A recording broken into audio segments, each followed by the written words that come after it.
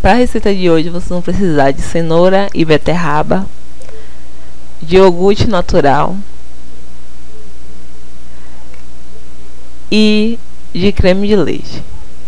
Primeiro, vocês devem misturar no liquidificador a beterraba, a cenoura e o iogurte natural e levar para bater por alguns minutos até que dissolva bastante. Depois vocês vão coar toda a misturinha, apertar bastante. Vocês podem coar no pano e apertar o pano até ficar dessa forma. Despeja o creme de leite na misturinha. Eu usei quase aproximadamente meia caixinha de creme de leite, mas foi um pouquinho menos. Você deve misturar, misturar bem, que vai engrossar mais um pouquinho e vai tomar essa consistência que vocês estão vendo aí. E logo vamos partir para a aplicação. Olá meninas! Bom, hoje eu estou realizando a quarta aplicação de receita caseira nos meus fios. E hoje eu estou utilizando a beterraba com cenoura e iogurte creme de leite. A consistência ficou bem assim. Bem molinha assim. Não é tão mole, é uma consistência cremosa. Eu deixei, como sempre, a parte da frente pra passar com vocês. Tô toda, cabelo todo roxo. Bem... Mas... Bom, como todo mundo sabe, a cenoura é rica em vitamina A. Bastante riquíssima em vitamina A e nutrientes que auxilia tanto muito bem o organismo. Então, como tudo que a gente ingere vai para os cabelos, eu creio também que tudo que a gente coloca nos nossos fios, o nosso corpo também absorve. E eu acho que nossos fios precisam de bastante vitamina A. Então essa misturinha é uma misturinha bastante rica em proteínas também. Porque a beterraba também produ produz complexos de vitaminas também nos fios. Ajudando bastante na regeneração, em cabelos opacos, em cabelos sem vida, na nutrição, na manutenção dos fios. O iogurte vocês viram que eu utilizei na última, na primeira aplicação, eu usei iogurte com mel. O cabelo ficou maravilhoso. Hoje, além do iogurte, eu apresentei essa misturinha creme de leite. Que é um dos, dos meus, meus ingredientes caseiros preferidos da creme de leite. Porque eu já usei várias vezes misturados com minhas máscaras de hidratação e sempre tive um ótimo resultado nos fios. Eu já usei muito mais do que leite de coco. Tô terminando aqui minha aplicação. Na frente do cabelo. Ó como...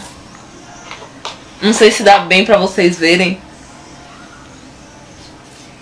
Como os fios ficam. Eu coloco bem bastante. Não sei se vocês percebem como é que fica o cabelo. Assim, bem roxo. Bom, essa é uma hidratação. Eu tô sentindo que você sente, quando você hidrata o cabelo, você sente seu cabelo mais leve. Bom, tô sentindo meu cabelo mais leve com essa máscara. Não sei como é que vai ficar o resultado quando eu for tirar. Mas o cabelo tá bem levinho.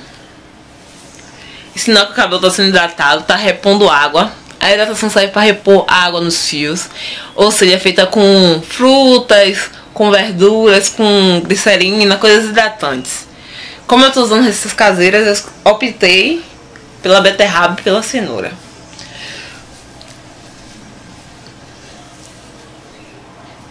Gente, a beterraba não mancha os fios não, viu? Se vocês tiverem essa dúvida. Pelo menos meus não mancha. Eu boto a touquinha plástica um plástico. Geralmente eu uso. Vou colocar minha touquinha.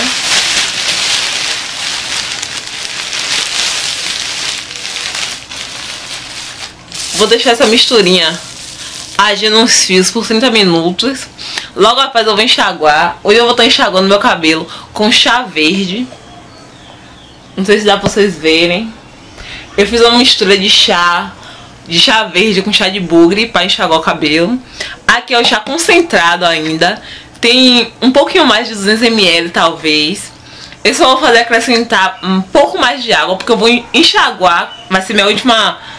Meu último enxágue vai ser com essa mistura, ou seja, eu não vou tirar depois com água. Eu vou botar mais água aqui, vou enxaguar os cabelos. E aí eu volto pra mostrar o resultado a vocês. Meninas, vou mostrar o resultado a vocês do cabelo. Olha. Acho que dá melhor pra ver assim. Que eu tô segurando a câmera. Uh, o cabelo tá super hidratado. Super, super. Gente, o cabelo ele não fica roxo da beterraba. Eu acho até que matiza um pouco as minhas luzes, porque tem pigmentos roxos, né? Aqui o resultado. Amei. Cheirinho de chá verde, porque eu finalizei com chá. Mas um, um levezinho de iogurte assim. Bom, espero que vocês gostem. Beijo.